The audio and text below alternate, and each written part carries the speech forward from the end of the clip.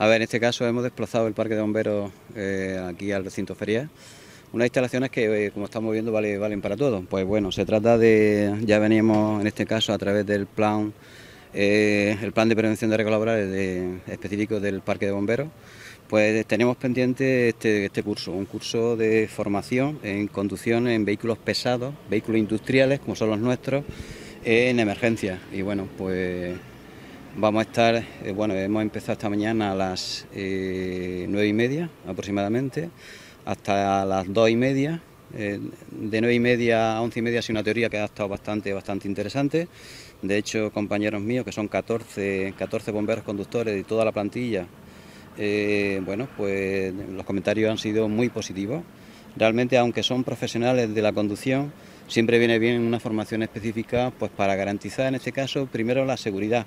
Y como bien han dicho tenemos que llegar a los incendios tenemos que llegar a la emergencia. Y qué mejor en este caso con, lo que nos están enseñando, en, eh, sobre todo lo específico en, conducir un vehículo con absoluta garantía, desde tomar una curva a un frenazo. Hay una primera parte que es esta y hay una segunda parte, esta primera parte es el circuito cerrado, se va a hacer unas prácticas ahora como estáis viendo eh, sobre toda la teoría que se ha estado dando y una segunda parte, madre mía, una segunda parte, ya estáis viendo, una segunda parte que eh, va a ser en circuito abierto. ¿Qué garantizamos? Pues la, seguridad de, los ocupantes, en este caso de los compañeros eh, y lógicamente la de la ciudadanía. Eh, nosotros cuando se encienden las luces automáticamente la tensión sube todo y, tenemos que estar preparados.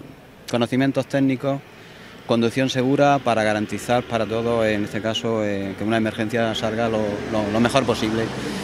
Y creo que creo que va a ser un éxito porque yo creo que es la creo no es la primera vez que hacemos un curso de estas características. Una empresa lógicamente especializada una empresa que viene de Madrid que ha estado que ha estado formando a que ha estado formando a, los bomberos del Ayuntamiento de Madrid, que está formando a los bomberos de la Comunidad de Madrid. Referencias y contactos que tenemos allí nos garantizaban lo que estamos viendo y, y esto es lo que y esto es lo que vamos a hacer. Bueno, pues desde la concejalía, yo cuando Jesús me propuso el curso este de conducción en emergencia en este tipo de situaciones, evidentemente le dije que, nosotros estábamos de acuerdo en que cuanta más formación y más capacidad de, realizar bien su trabajo tuviese el cuerpo de bomberos, mm, para todos mejor. Primero para la seguridad de ellos y segundo para la, seguridad de la ciudadanía.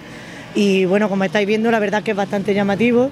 Es una situación que se puede dar en cualquier tipo de emergencia y entendemos que lo prioritario es que ellos estén preparados para afrontarla.